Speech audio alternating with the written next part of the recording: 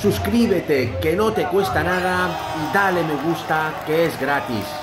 Antes de empezar, no te olvides de darle me gusta, pulsar el dedito de arriba, que no te va a costar nada, es totalmente gratis para que este vídeo llegue a más culés como tú. Buenas amigos culés, ¿qué tal estamos? Voy a empezar este vídeo con la rueda de prensa que acaba de dar Xavi previa al partido de mañana de liga que tenemos en casa contra el Villarreal.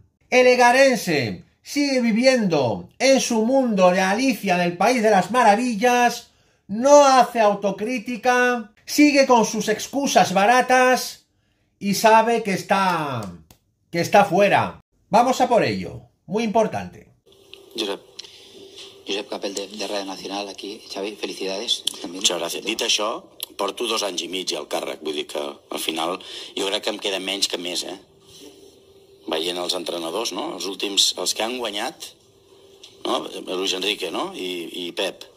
Pep, què va estar, Pep? Quatre, no? Temporades. Guanyant, no? Luis Enrique guanyant tres.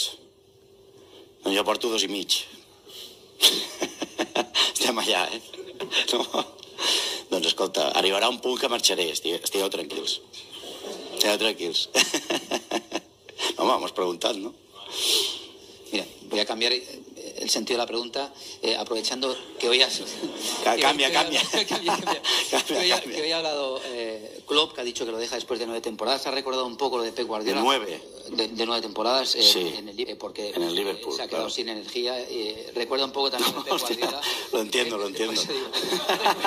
recuerda un poco lo de Pep Guardiola después de cuatro años, aquello también de que se, se sentía ya, ya vacío. Y me gustaría saber, después de dos años y medio, como tú recordías, recordabas, eh, cómo estás de, el depósito de, gasolina, cómo lo tienes.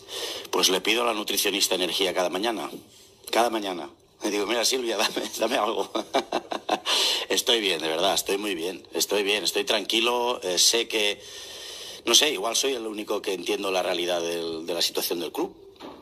No lo sé, la, situación es la que es. Es la que es, es una situación, situación difícil.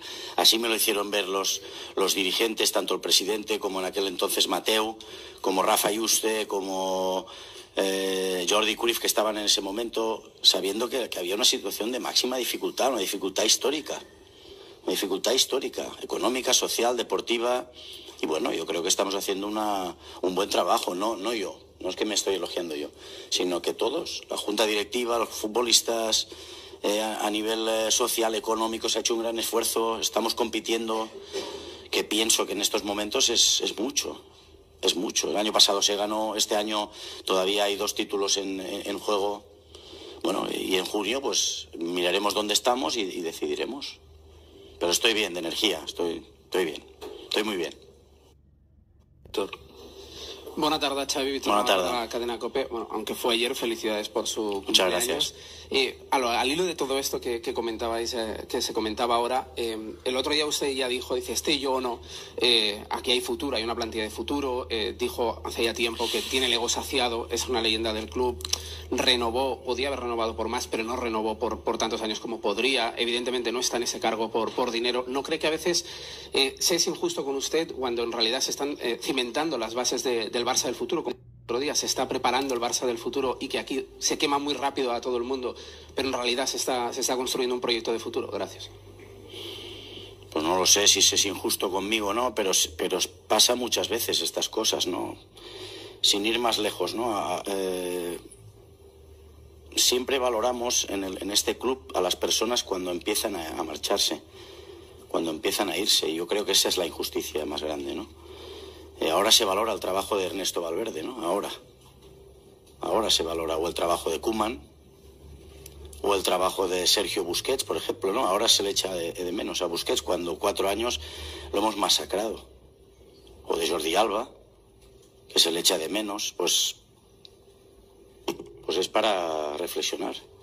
Es para reflexionar. Y espero que me echéis de menos también a mí. Pues es así. Pues vamos a valorar. Yo soy de valorar lo que tengo. En mis futbolistas, estoy en el, en el mejor club del mundo para mí. Para mí es el mejor club del mundo. Valoro cada día venir a trabajar. Soy feliz. Estoy contento. Sé que hay mucha exigencia, pero valoro lo que tengo, no después. no después. Esta para mí es el error histórico del Barça. Que valoramos las cosas después. No, no, valorarlas ahora.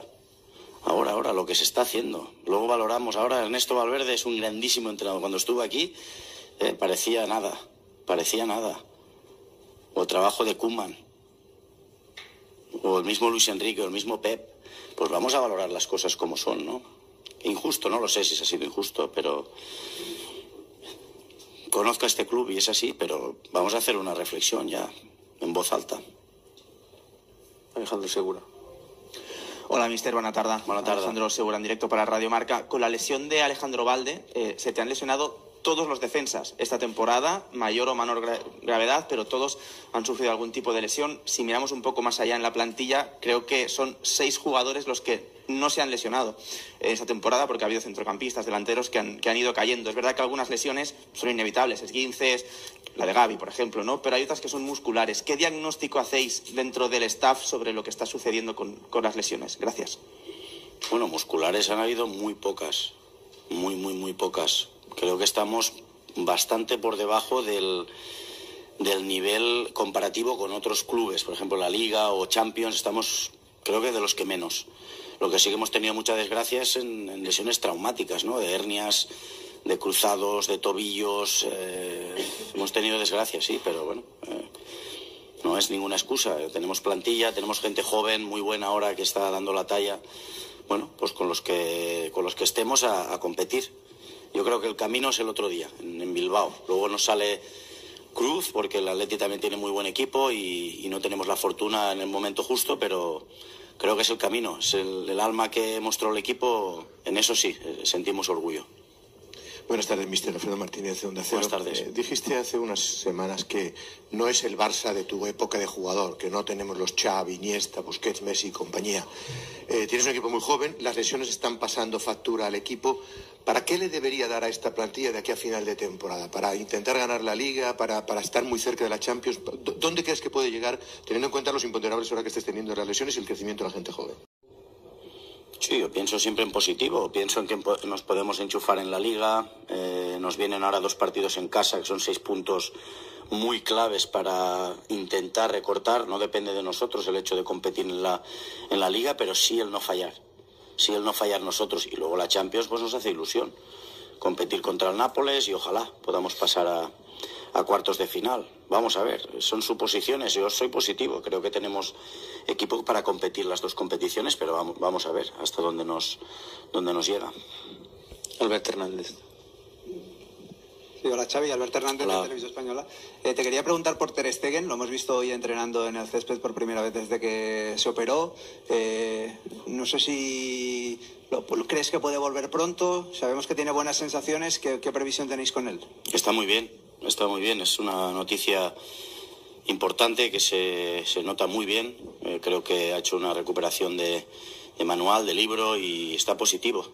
Está positivo, vamos a ver, no sé, el timing mmm, no te puedo decir, pero estará, estará pronto con el, con el equipo, sí. Alucinante, ¿no? Y ahora sí vamos con el temazo principal. Se acaba de confirmar el bombazo. Jürgen Klopp deja Liverpool. Hoy el entrenador alemán ha anunciado que deja el Liverpool a finales de temporada. Pues bien, bombazo de última hora.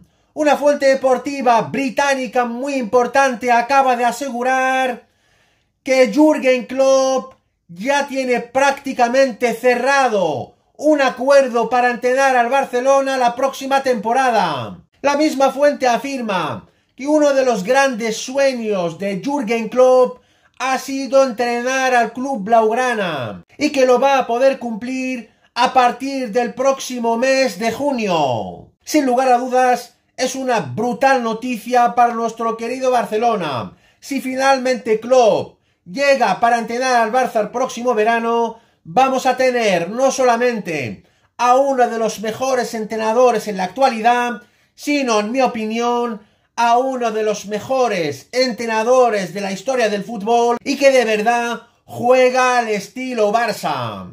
Esta ha sido mi grandísima noticia de hoy, amigos culés. No os olvidéis suscribirse a mi canal, que no os cuesta nada. Pulsar un like como siempre. y dejarme comentarios para cambiar opiniones. Muchas gracias, Forza Barça por siempre, vamos a por todas y nos vemos muy pronto en mi próximo vídeo. ¡Vamos!